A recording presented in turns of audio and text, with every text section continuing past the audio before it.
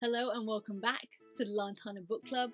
I hope you've been keeping well and that you've been keeping safe um, and reading lots of books while you've been doing that. Um, my name is Maleeha Mir, uh, and today I'll be sharing a few stories from Lantana's upcoming picture book, Escape The Day We Had to Run.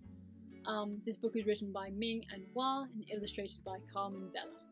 Escape One Day We Had to Run um, is a picture book that follows the brave and inspiring people throughout our history that have been forced to leave their homes and their families because of war, famine, intolerance, slavery, economic and political upheaval, and even climate change.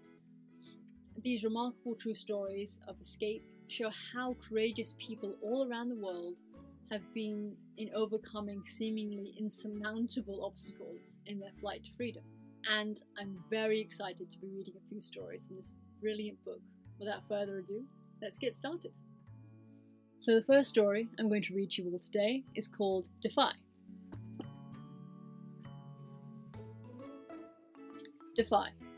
Go with your gut, do what is right, and disregard orders.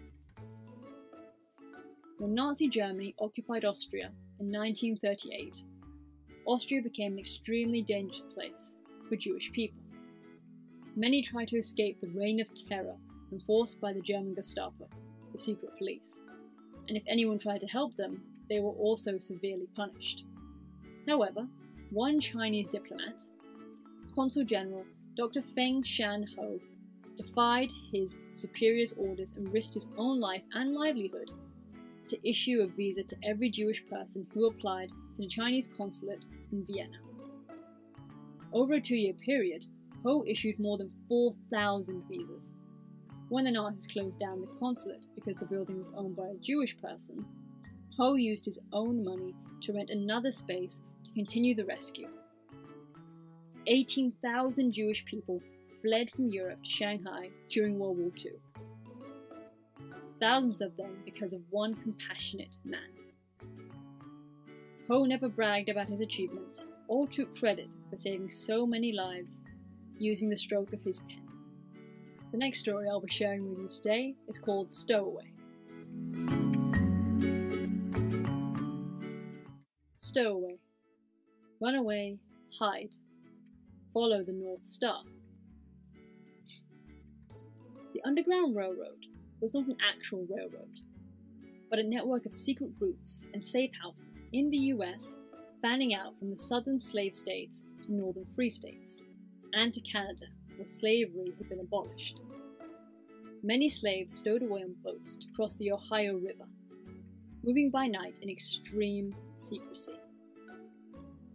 Harriet Tubman was one of the many courageous people, some of whom were once slaves themselves, who risked everything family separation, torture, and death to help others escape slavery. Harriet made 13 missions on the Underground Railroad, helping rescue an estimated 70 enslaved people. Slavery was finally abolished in the United States in 1865. The final story that I'd like to share with you today is called Swim.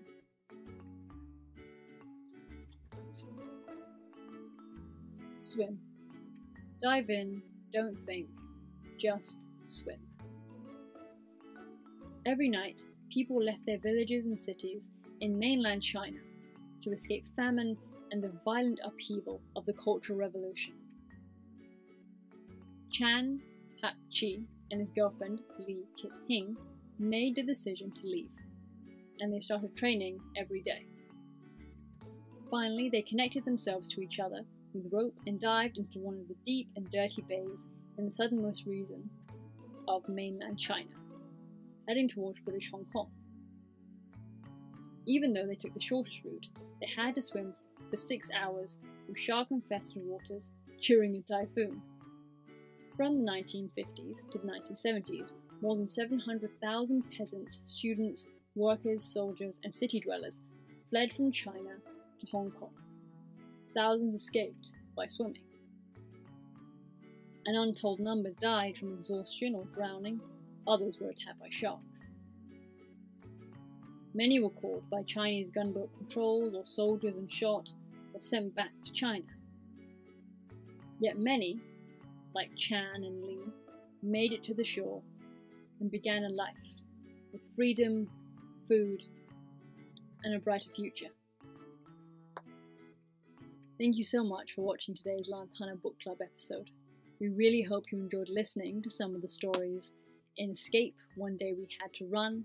This amazing book will be available on May 6th, 2021, or if you want to learn more about it now, please visit lantanapublishing.com. The link will be available in the description below. We have so many other books coming up as well, so do check those out too.